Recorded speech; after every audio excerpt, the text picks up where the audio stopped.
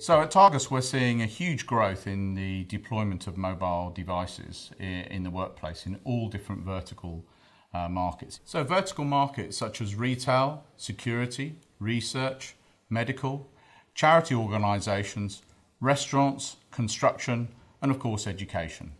The real key element is that uh, most of the teams that work on these deployments are very involved with their hardware, the software they have to develop, Uh, and the infrastructure they have to provide to actually support this deployment.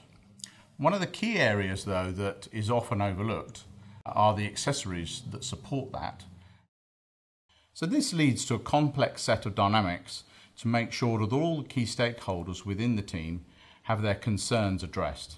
So often these projects take between 9 and 12 months. So make sure that you consider the accessories at the front end of the project to make sure you get successful deployment at the end.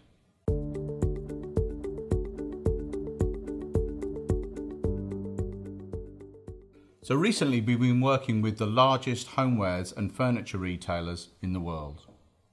We took an initial brief from the client, we developed concepts and prototypes, we then held a number of workshops with their shop assistants to make sure that we develop the optimal solution for them to use, carry and protect their tablets on a daily basis. So after the pilot we gained final approval from the client and they're now rolling this out across 270 stores worldwide.